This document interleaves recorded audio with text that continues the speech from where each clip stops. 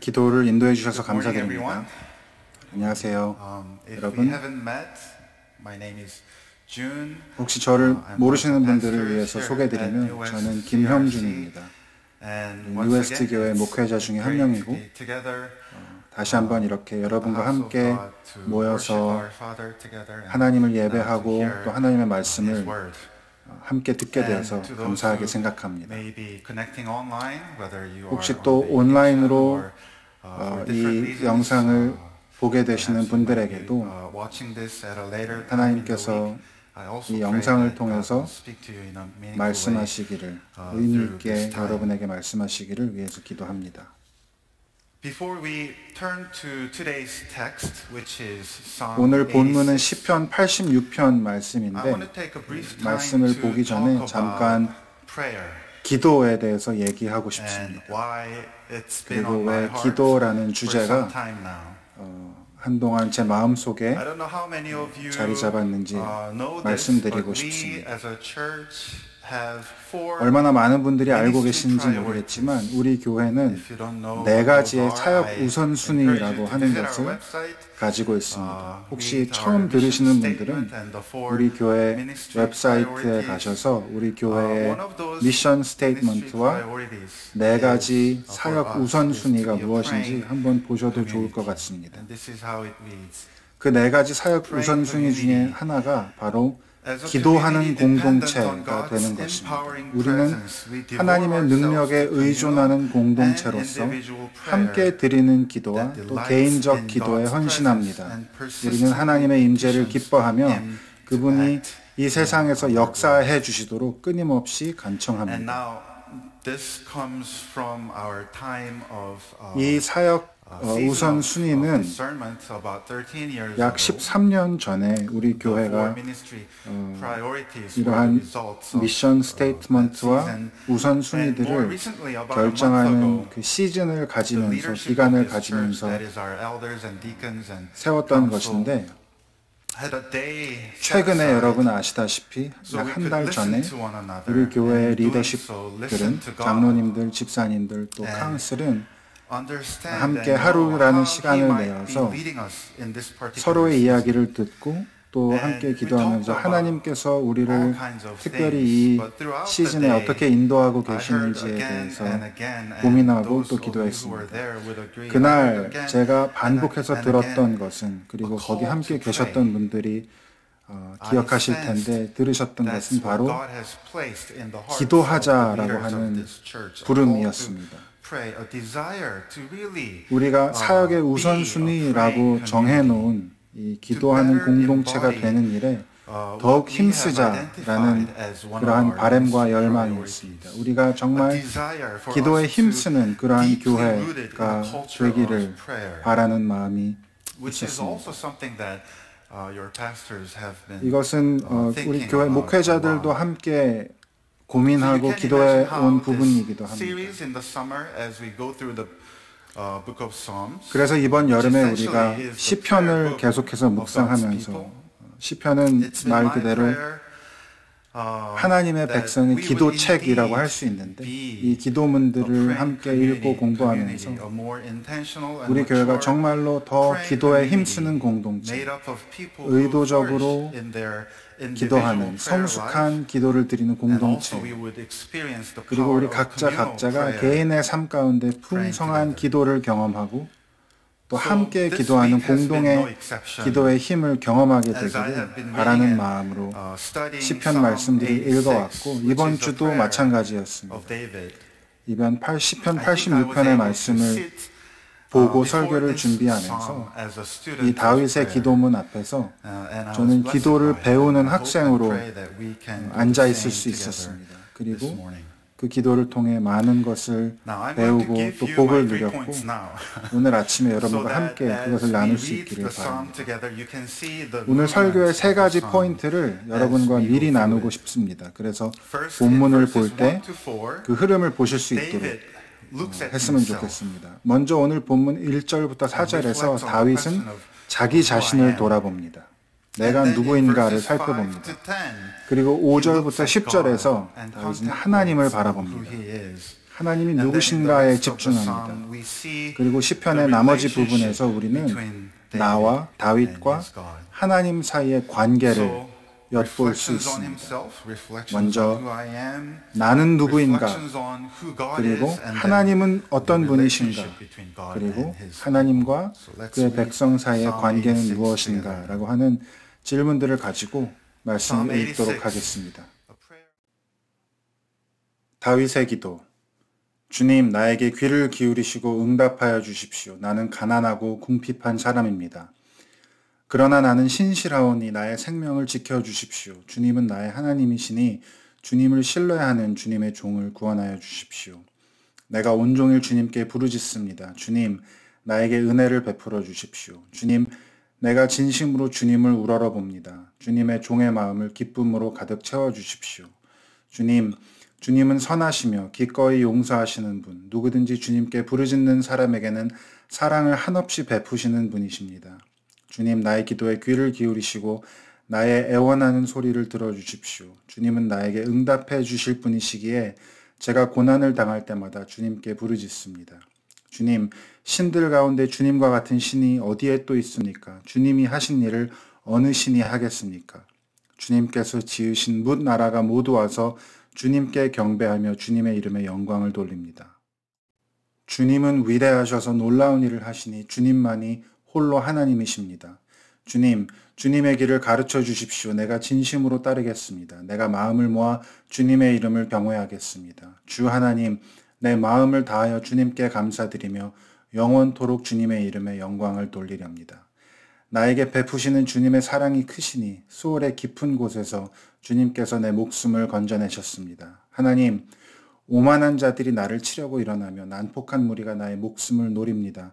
그들은 주님을 안중에도 두지 않습니다. 그러나 주님, 주님은 자비롭고 은혜로우신 하나님이시요 노하기를 더디하시며 사랑과 진실이 그지 없으신 분이십니다. 내게로 얼굴을 돌려주시고 내게 은혜를 베풀어 주십시오. 주님의 종에게 힘을 주시고 주님께서 거느리신 여종의 아들에게 구원을 베풀어 주십시오.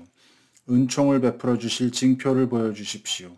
나를 미워하는 자들이 보고 부끄러워할 것입니다. 주님, 주님께서 친히 나를 돕고 위로하셨습니다. So, in the first four verses, we hear 오늘 시편의 첫 speak 네 a 절 lot about 말씀에서 himself. 우리는 다윗이 자기 자신에 대해서 말하는 것을 듣게 됩니다. 1절 주님 내 기도에 응답해 주십시오. 나는 가난하고 궁핍한 사람입니다. 이. 가난하고 궁핍한 사람의 모습 그 자리야말로 기도를 시작하기에 좋은 자리입니다.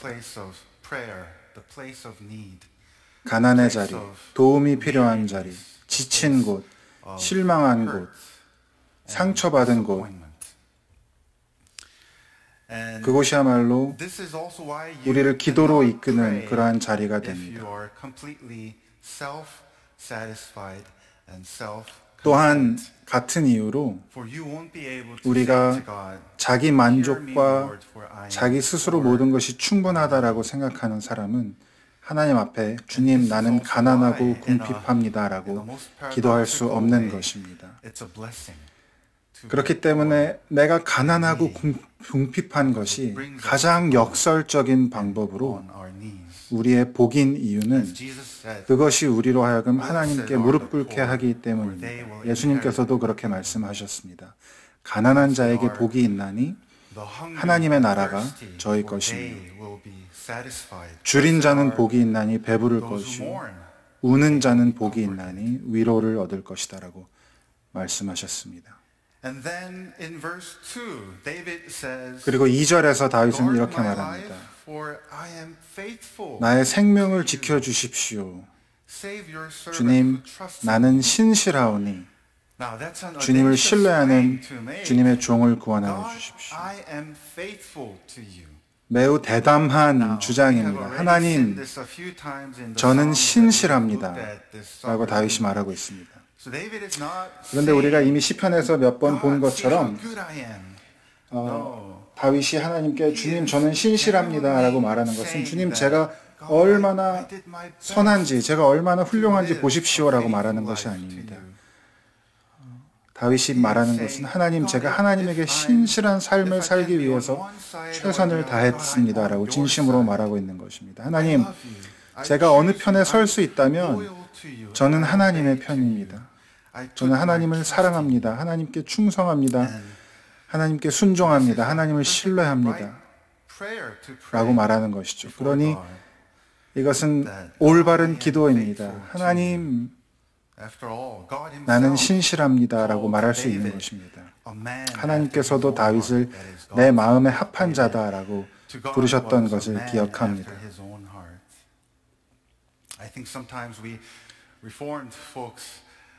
때때로 우리 어, 개혁주의 기독교인들은 시편 86편 1절 기도는 잘하지만 2절 기도는 잘 하지 못할 수 있습니다.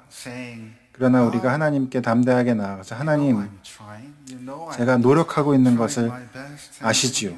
제가 하나님을 얼마나 사랑하는지 아시지요. 제가 하나님을 얼마나 신뢰하는지 아시지요. 저는 전적으로 당신의 것입니다. 라고 말할 수 있는 것입니다. 그리고 3절에서 다윗은 이렇게 말합니다.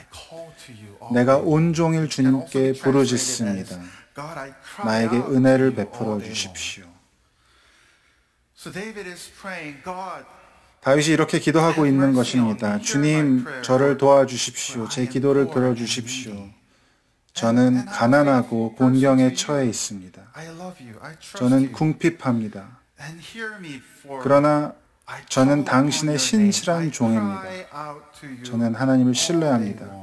그리고 하나님의 이름을 온종일 부릅니다. 그러니 제 기도를 들어주십시오.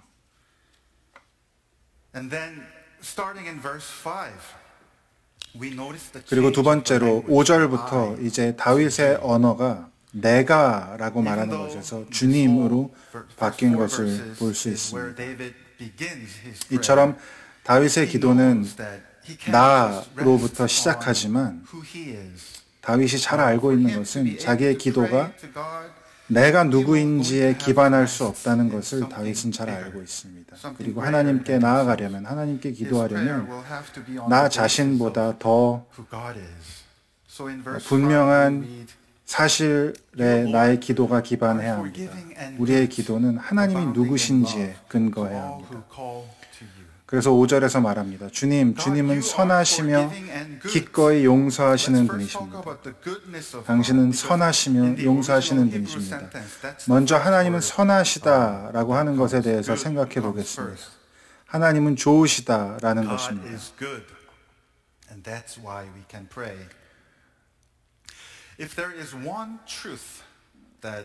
만약에 세상에 온 우주 가운데 단 하나의 진리가 있다면 그것은 하나님이 선하시다라는 것입니다. 저와 여러분이 기도할 수 있는 이유는 그분이 좋으신 하나님이시기 때문입니다. 세상이 다 변해도 그리고 세상이 다 변하겠지만 한 가지는 변하지 않을 것인데 그것은 바로 하나님이 선하시다는 사실입니다. 이제 시편 후반부에서 우리가 보게 되겠지만 다윗은 지금 선한 상황에 처해 있지 않습니다. 현재 그의 삶에서 하나님은 선하시다라고 말할 수 있는 근거는 사실 없을 것입니다.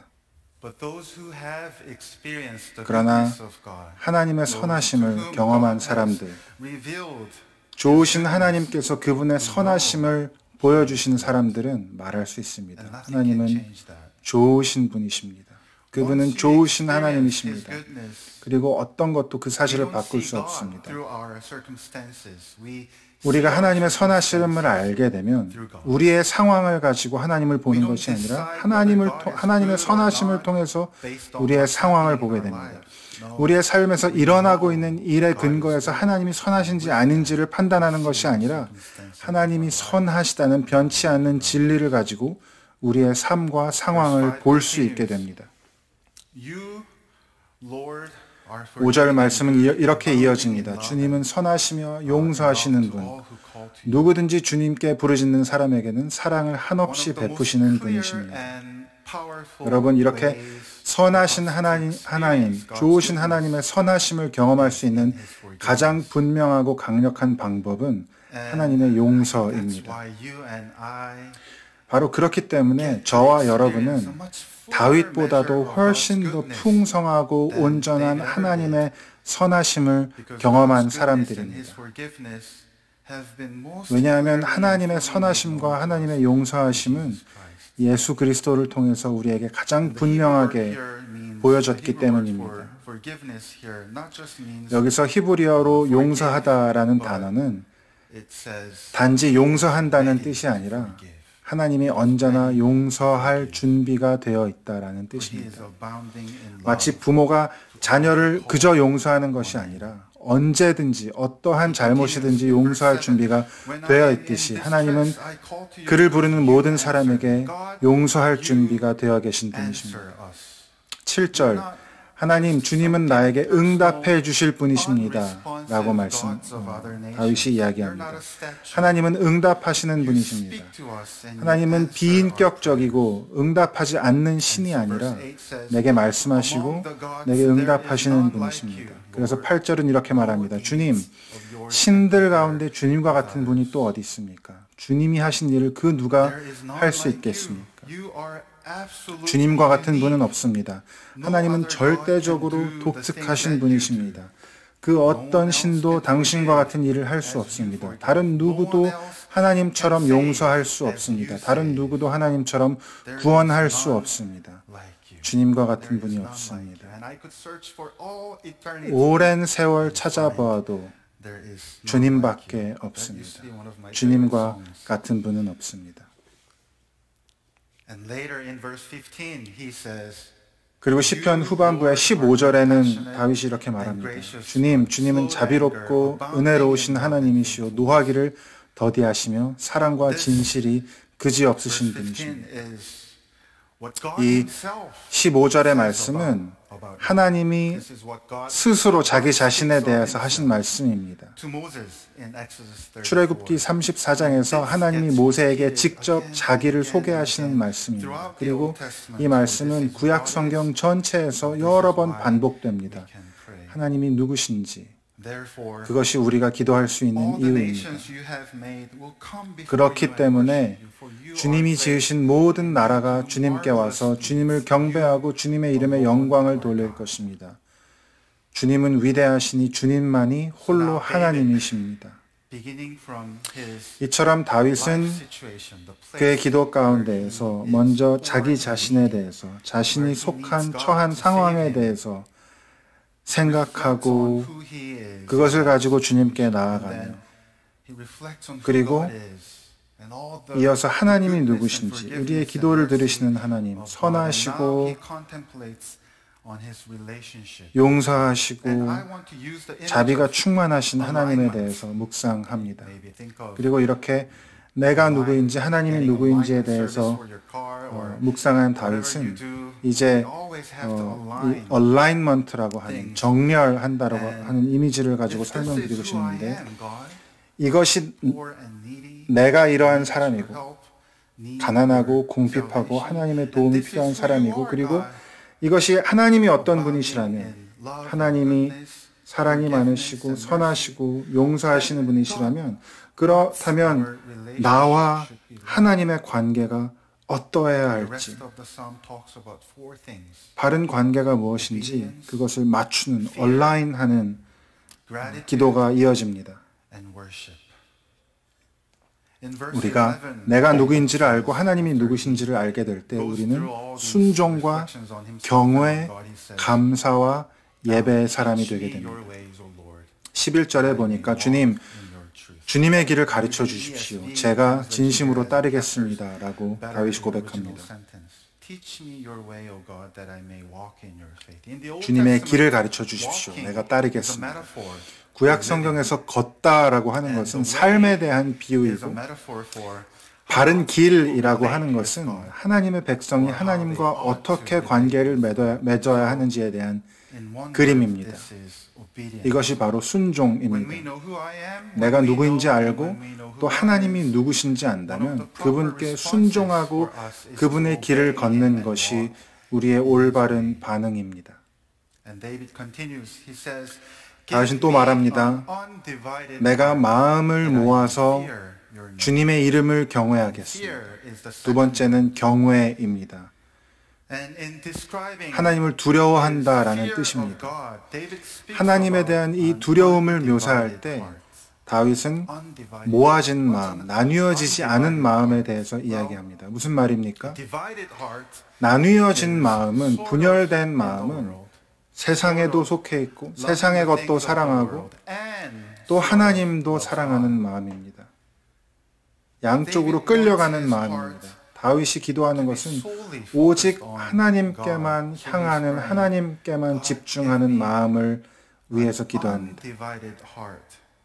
하나님, 내 마음이 하나님만 향하게. 해주십시오. 내가 하나님만 바라보고 하나님이 온전히 나의 하나님이 되실 때 다른 모든 것이 자기. 자리를 찾아갈 것입니다. 그것이 하나님을 경외한다는 의미입니다. 하나님의 자리에 다른 어떤 것도 두지 않고 하나님을. 하나님이 마땅히 계셔야 할 자리 외에 다른 곳에 두지 않는 것입니다. 그것이 하나님을 경외하는 것입니다.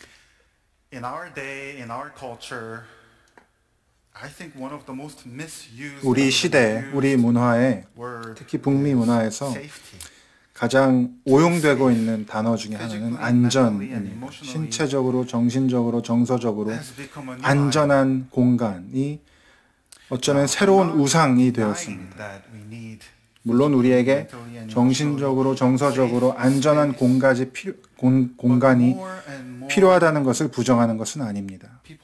하지만 점점 더 사람들은 안전하다는 것. 안전에, 안전한 공간에 있다는 것을 두려워할 것이 전혀 없어야 한다는 것과 헷갈려 합니다. 내가 정말 안전하려면 내게 아무 두려움도 없어야 한다고 생각합니다.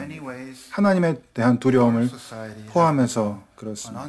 그래서 많은 사람들이 이제 교회를. 안전하지 않은 곳, unsafe space라고 부릅니다. 왜냐하면 교회에서는 우리를 죄인이라고 말하고 회개하라고 말하, 말씀하기 때문입니다. 그러나 여러분 정말 하나님을 경외하고 그분을 예배하려면 우리는 그분에 대한 두려움이 필요합니다. 건강한 두려움이 필요합니다. 하나님을 무서워해야 한다는 것이 아니라 하나님을 두렵도록 위대하고 두렵도록 아름답고 하나님이 두렵도록 장엄하신 분이라는 것을 알견 in verse 12, 알아야 한다는 말입니다. 다윗이 계속해서 말씀합니다. 하나님 glorify you. 내 마음을 다하여 주님께 감사드리며 영원토록 주님의 이름에 영광을 돌립니다. 이것이 감사이고 또 이것이 예배입니다. 내가 누구인지, 우리가 누구인지, 그리고 하나님이 누구인지 알게 되면 우리는 감사할 수밖에 또 찬양할 수밖에 없습니다. 이렇게 우리는 기도할 때 기도 가운데 하나님을 순종하고 그분을 경외하고 감사드리고 예배하는 그러한 정렬, 그러한 얼라인먼트를 경험하게 됩니다. 그것이 바로 시편 86편의 무브먼트입니다. The psalm doesn't end there. In verse 14, this is what we read. 그러나 시편이 거기서 끝나지 않습니다. 14절에 보니까 하나님. 오만한 자들이 나를 치려고 일어나며 난폭한 무리가 나의 목숨을 노립니다. 라고 말합니다. I think this is why David is praying. 저는 사실 이것이 다윗이 기도하고 있는 이유라고 생각합니다. 그가 삶 가운데 겪고 있는 어려움이라고 생각합니다. 다윗은 자기를 죽이려는 사람들에게 둘러싸여 있습니다. 그리고 여러분 다윗의 일생에 대해서 아신다면 이것이 은유가 아니라는 것을 아실 것입니다. 다윗은 정말로 자기를 죽이려고 하는 사람들에 둘러싸여서 그 위험 가운데 처해, 처한 상황들을 많이 겪었습니다. 여러분 이러한 상황을 목숨이 위태로운 상황을 떠올려 보면서 이 시편 86편의 말씀을 읽는다면 우리는 다윗이 지금 마치 자기가 기도해야 할 이유, 기도할 수 있는 이유를 열심히 찾는 것 같아 보입니다. 기도하기 위해서 자기 자신을 자기의 영혼을 설득하고 있는 것처럼 보입니다. 나는 가난하고 궁핍합니다. 나는 도움이 필요합니다. 나는 하나님을 신뢰합니다. 그 하나님은 선하시고 은혜로우십니다. 그분은 강력하시고 능력이 많으신 분입니다. 나는 그에게 기도할 수 있습니다. 그리고 그분이 응답하실 것입니다. 내가 하나님에게 나를 구해달라고 요청하면 하나님 나를 구원해 주실 것입니다. 라고 스스로를 어, 설득하고 있는 것과 같아 보입니다. 그리고 다윗이 그렇게 기도할 때 얼라인먼트가 일어납니다. 사실 이 시편에서 다윗의 문제가 해결되었다라는 어, 단서는 없습니다. 사실 다윗의 상황에는 변화가 없습니다. 그러나 기도할 때 다윗이 하나님을 찬양하고 감사하고 하나님 안에서 새로워지고 새 힘을 얻을 수 있는 자리로 나아가게 되는 것을 볼 수 있습니다. 오늘 설교 제목은 기도할 때까지 기도하라였습니다. 기도할 때까지 기도하라. 여러분 그런 표현을 들어보셨었는지 전에 들어보셨었는지 모르겠습니다. 저는 들어보지 못했던 표현인데 제가 지난 6월에 그랜 래피드에 칼빈 대학에 갔을 때 거기에 아주 큰 신학 서적 어, 서점에 어, 가곤 하는데 어, 거기 가면 이제 중고 책들이 많이 있습니다. 1불, 2불, 3불짜리 책들을 볼 수 있는데 거기서 D.A. 칼슨 교수님이라고 한 분이 쓰신 바울과 함께 기도하기라는 책을 한 권 샀습니다. 거기서 제가 이 표현에 대해서 배우게 되었습니다. 기도할 때까지 기도하라. 이것은 사실 청교도들이 기도에 대해서 가르칠 때 하던 말씀이었습니다. 기도할 때까지 기도하라. 어, 그런데 제가 처음 이 표현을 읽었을 때 저 제가 느꼈던 감정은 제가 한국 교회에서 어, 많이 배웠던 기도에 대한 감정이었습니다. 오래 기도해라. 열심히 기도하고 어, 마치 힘들게 기도하면 더 어렵게 기도하면 산에 가서 기도하고 이른 아침에 기도하고 늦은 밤에 기도하면 마치 하나님이 그 기도를 더 잘 들어주실 것 같다라고 하는 그러한 오해들이 제 마음 가운데 먼저 떠올랐습니다. 기도할 때까지 기도하라라는 표현이 저에게 그렇게 어, 다가왔습니다. 그러나 제가 그 책을 읽고 또 이번 주에 이 시편 86편의 말씀을 읽으면서 깨닫게 된 것은 기도할 때까지 기도하라라는 청교도들의 가르침은 바로 여러분에게 어, 그 참된 기도의 자리에 나아가기까지 그 자리에 머물라라고 하는 격려와 초대와도 같이 들렸습니다. 어, 너무 일찍 기도를 멈추지 말고 기도를 시작하고 그래서 깊은 기도의 자리에 나아가기까지 나의 모습과 나의 자리에서 시작해서 하나님이 누구시고 하나님이 어떠한 분이신지 그 자리까지 나아가도록 그리고 나와 하나님과의 관계에 대해서 묵상하고 깨달으면서 나의 영혼이 새롭게 되는 새 힘을 얻는 자리에까지 나아가라는 선물과도 같이 들렸습니다. 몇 주 전에 제가 시편 69편의 말씀을 가지고 설교한 적이 있는데 시편 69편의 말씀은 다윗이 어, 이렇게 시작합니다. 하나님 나를 구해 주십시오. 나를 살려 주십시오. 원수들이 나를 둘러싸고 있어서 어, 마치 모, 내 목에까지 물이 찬 것과 같이 느껴집니다라고 시작하는 시편이었습니다. 우리가 물론 그렇게 기도할 수 있습니다. 하나님 나를 살려주십시오. 너무 어렵습니다. 너무 힘듭니다. 죽을 것 같습니다. 라고 기도할 수 있습니다. 그러나 또 많은 경우에 우리는 시편 86편의 말씀처럼 우리가 처한 그 상황에서 머물러 있는 그곳에서부터 기도할 수 있다라고 어, 우리를 상기시켜 줍니다. 하나님, 내가 가난하고 궁핍합니다라고 말할 수 있습니다.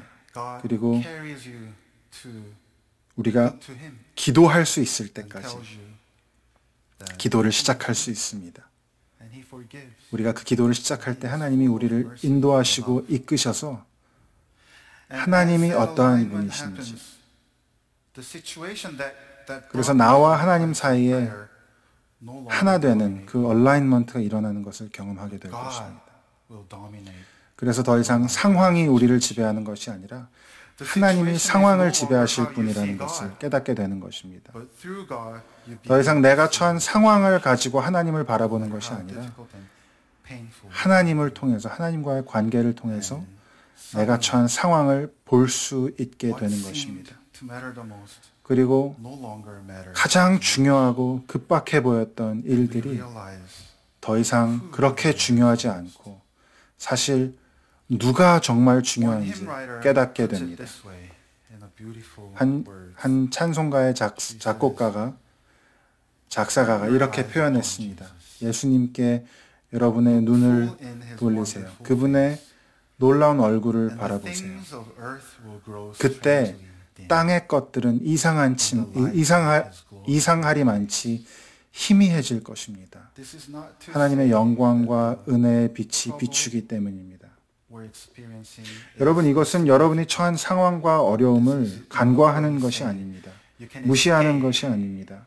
어, 그냥 잠깐 어, 그러한 상황에서. 그것을 그냥 잊을 수 있다라고 말씀하는 것이 아닙니다. 사실 그 상황은 변하지 않을지 모릅니다. 그러나 우리가 예수님을 향할 때 하나님을 바라볼 때 이상하리 많지 우리가 처한 그 상황이 희미해진다라고 말하는 것입니다. 이 찬송가의 작사가였던 헬렌 렘멜은 songwriter.